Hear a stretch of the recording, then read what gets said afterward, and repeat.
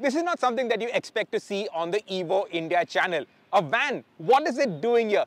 But aren't you also curious? Haven't you seen tons of these Force travelers on the road? They're used for everything from school buses to tour operators to luxury hotels to ambulances to company buses. Everybody uses the traveler. In fact, it has a 67% market share in India right now. It is the best in the business and now there is a new van.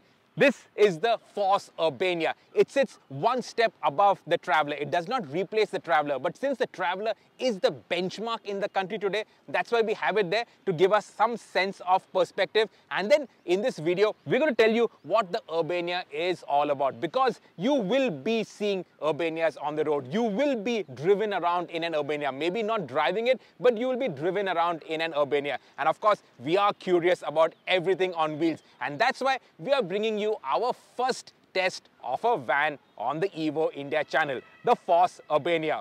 Also, don't forget to stick around till the end. Let us know if you enjoyed this video and if we should be doing more of these. Not cars that we drive every single day, but some things that we might be driven around in and things that we will see on our roads. And the Urbania will not just be on Indian roads, but this is benchmarked against international rivals and it is going to be exported to 43 countries in right-hand drive as well as left-hand drive. So let's get on with this test. And of course, don't forget to hit that like button, share this video with like-minded enthusiasts and stay subscribed to the Evo India channel.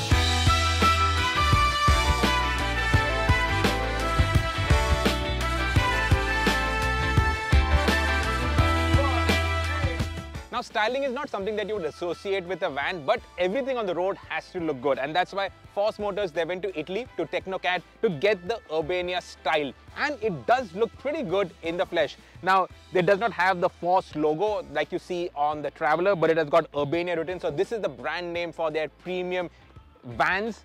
The reflecting sticker that is there for regulation. It's got these DRL, so that's a signature. A lot of car related tech that is coming down to the van segment as well. Over on the side, obviously, it is a panel van, so it has got flat sides, but it has got a sliding door. This is not electrically operated, at least not as of now, but a sliding door for ease of ingress, egress. Even the step is not too much, so it is easy to access. It's running 16 inch wheels, 15 inch on the Traveller, 16 on this.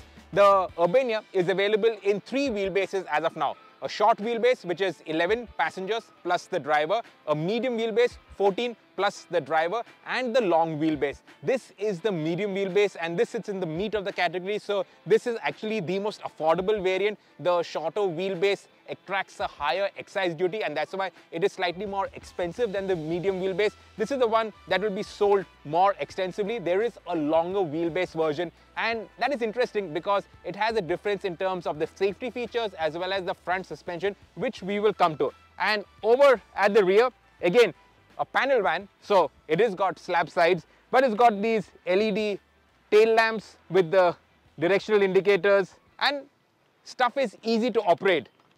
Now this is made on a new line at Pithampur and that's why the gaps in the panels are tighter, they're more consistent, the fit finish is much nicer, the door shut, it is more sophisticated, it is not tinny. So overall, this does move things up pretty considerably compared to the Traveller.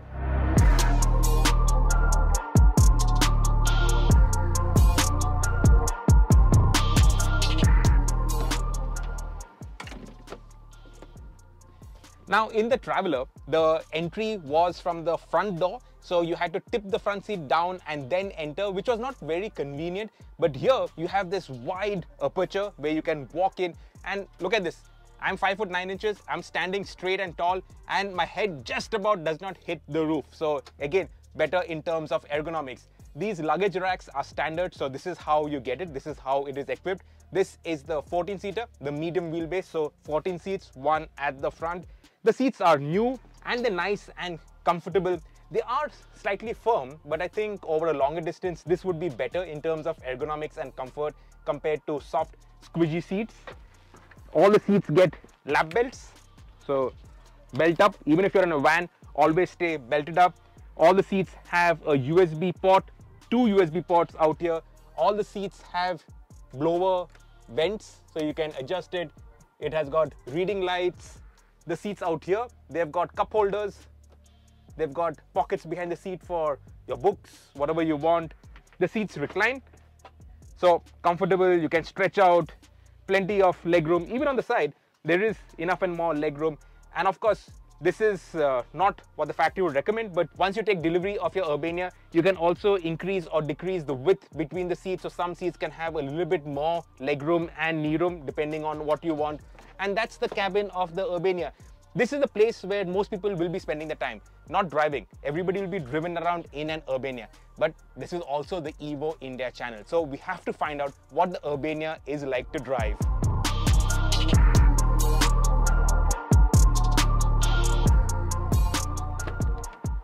Open the door and the first thing that you notice is the quality of the door handles, quality of the door open and shut. It is much, much better, nearly around there with most cars. You have space in the door pockets for say sunglasses. You have a grab handle on the A-pillar. So easy to get in, but there is a nice step. So it's actually easy to get into. It has got Apple CarPlay. So that's a good thing. The music is playing. So, oh, it's got a touchscreen. So it's got touchscreen with Apple CarPlay. It has got start stop, not start stop to start the car, but auto start stop. So at a traffic light, it will cut out, save you fuel, save on emissions, reduce the noise levels, obviously. It's got an emergency, these SOS buttons, so that is by regulation.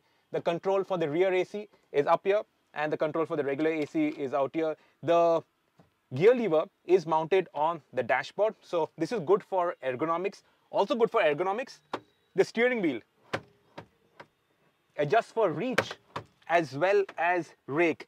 The front two have got a proper three-pointed seat belt and the driving position is very car-like with excellent visibility. So you have this huge windscreen, you have great view of the road ahead. The wing mirrors, they are massive, plus a fisheye at the bottom, so you get to see even more the edges of the van. Started, of course, there is no mistaking that this is a diesel engine, but it's not a very noisy engine at that. It sounds good in terms of NVH, the NVH control is good. A 5-speed gearbox. So this engine is the 2.6 liter common rail diesel engine which does duty in all the travelers, even the Gurkha, it's the same engine. So tried and tested and this engine actually has been derived from a Mercedes engine. So it has got a bit of Mercedes genes in there.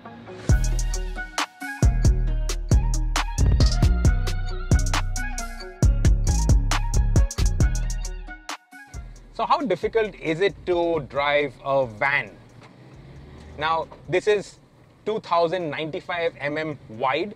That is around 260 mm wider than an Innova. So you have to be aware of its size.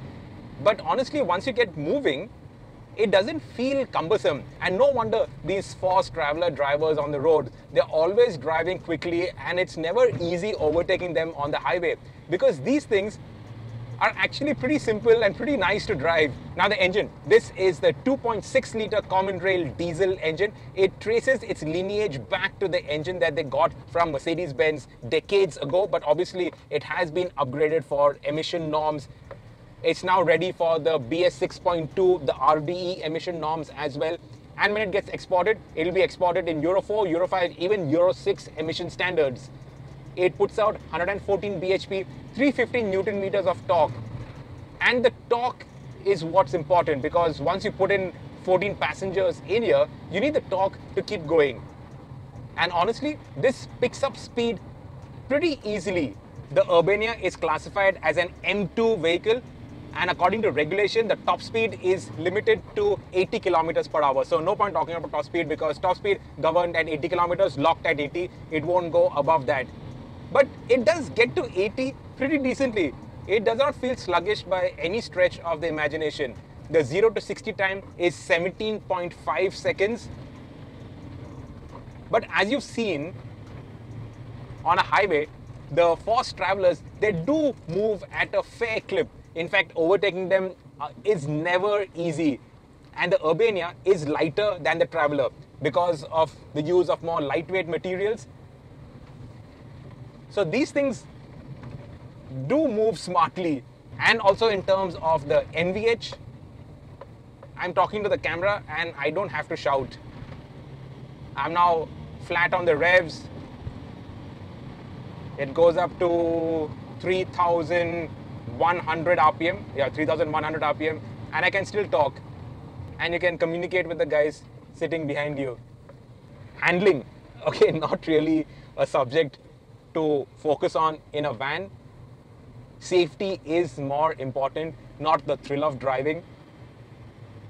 But I'm going around that skid pad at 40 kilometers per hour easily. You can do it at 60 probably, but we got back camera guys out here, so don't want them getting thrown around. The body roll is not exorbitant, and except for the fact that this has a manual gearbox, if it had an automatic, I personally could be doing long distances in it. It's just a manual gearbox. After a while, you get tired of it. And this manual is not the slickest shifting manual gearbox. Of course, this version is brand new. This car is van, sorry, is brand new. So it'll need a little bit of time for everything to open up because the Traveller that I drove before this had a much smoother gearbox. This needs a bit of effort. The clutch, actually the clutch weight is good. Your left leg is not going to get tired because of the weight of the clutch. It's going to get tired because you'll have to be constantly shifting around on Indian roads and in highways because of the traffic, obviously. This gearbox, I would like it to be a little smoother, a little less effort to operate. But look at it, it doesn't have too much play. The throws are good enough. It's not like long throws. It's actually a pretty sorted gearbox, if you ask me. The shift quality is also nice. So once you pile on a couple of thousand kilometers on this, it will become much slicker. The reverse is a dog-leg reverse and 5 speeds, not a 6-speed gearbox. This is a torquey engine. I'm now at 1000 RPM and it is still pulling. In fact, the sweet spot according to the green marking is between 1500 to 2500. That's where it produces the meat of its torque and also the engine will be at its most fuel efficient. And just look at the turning circle. Very good.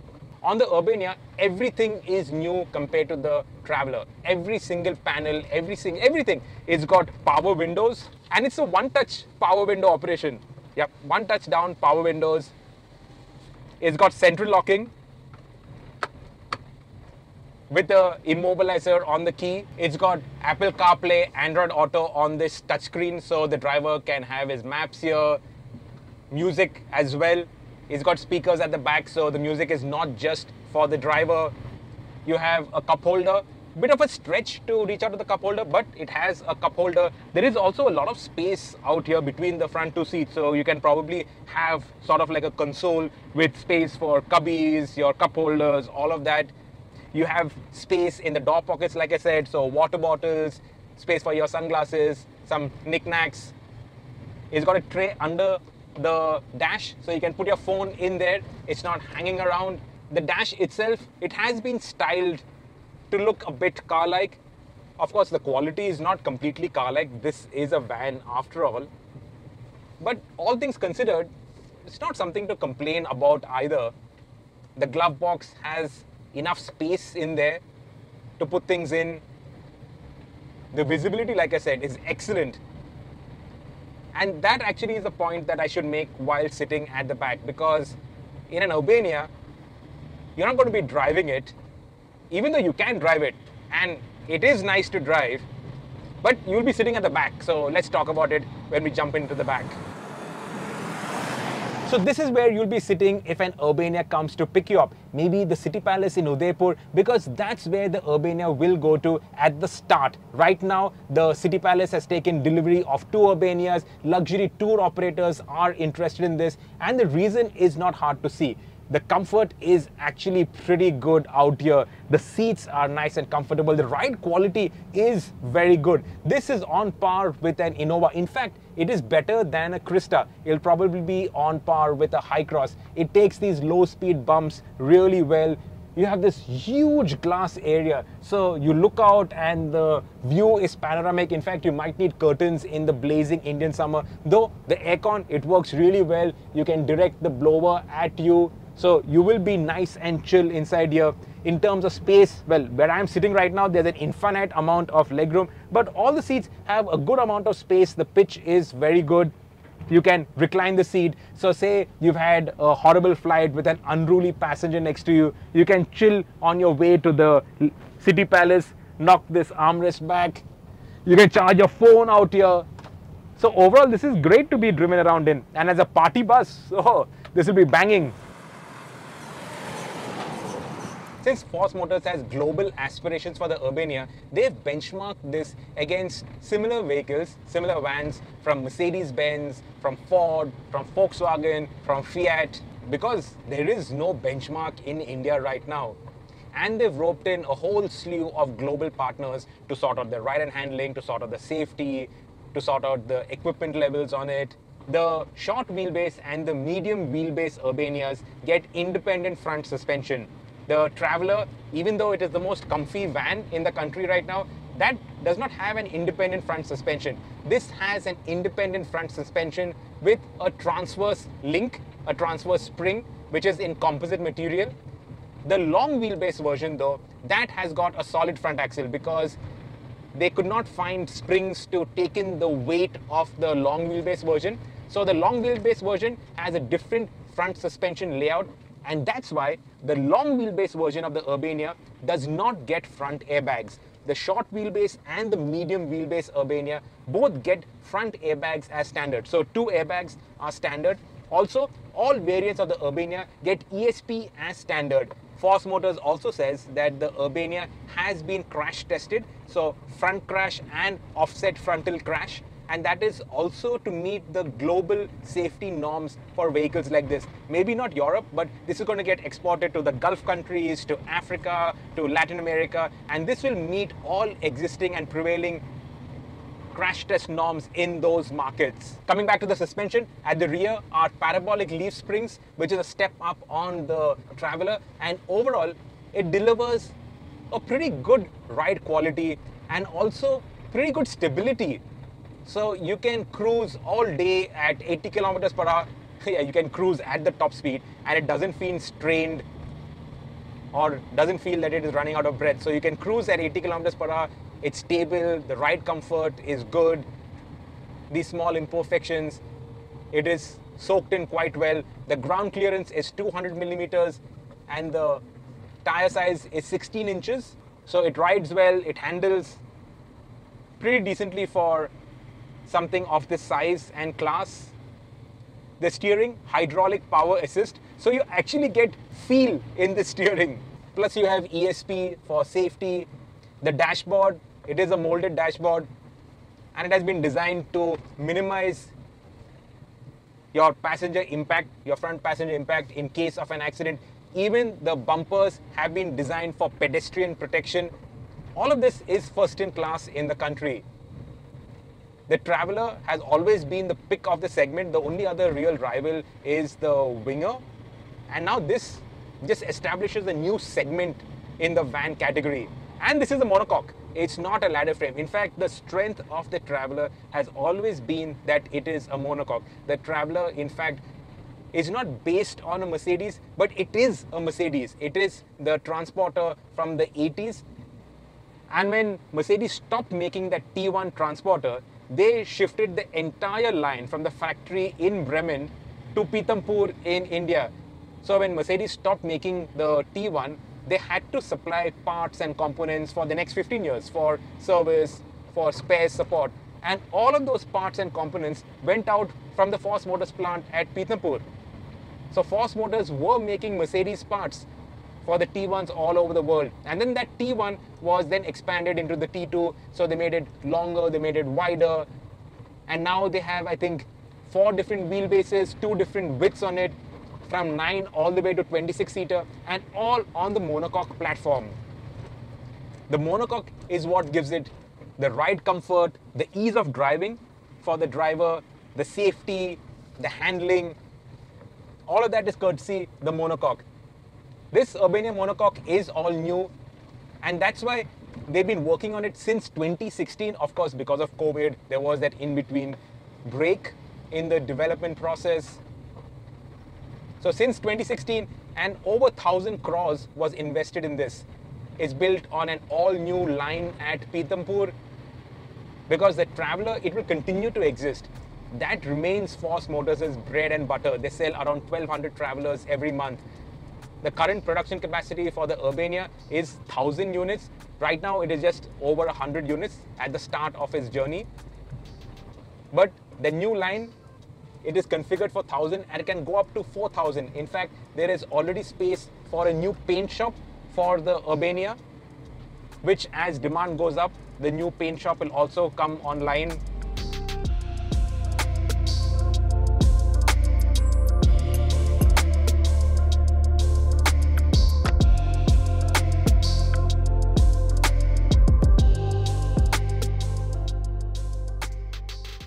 Three variants of the Urbania are available as of now. This, the medium wheelbase, is the entry point. It costs 28.99 lakh rupees. The shorter wheelbase, because it attracts a higher excise duty, is around 50,000 rupees more. And then the larger 17-seater, that is 31.25 lakh rupees. Now, compared to the Force Traveller, this is on average between 9 to 10 lakh rupees more expensive. But for that increase in money, you get better safety, you get ESP standard, you get better comfort, you get independent front suspension, you get better NVH, you get better cooling. Everything is a huge step up on the Traveller. This is not going to replace the Traveller because the Traveller will continue to do service. But one step up, Suppose you have a fleet of Innovas and you are looking to replace it with something that can take in a few more people but with sort of similar kind of luxury, this might fit the bill premium hotels, luxury tour operators, all of them are looking at this. And of course, export markets are going to be a big deal for the Urbania. But the future is also electric. And the Urbania, this entire platform is ready for electrification. And we hear that by the end of this year, there will be an electric version of the Urbania. Now, that in terms of comfort, in terms of refinement, in terms of NVH, will be a huge step up on the existing diesel engine and that will be really interesting as a solution for mobility in the country.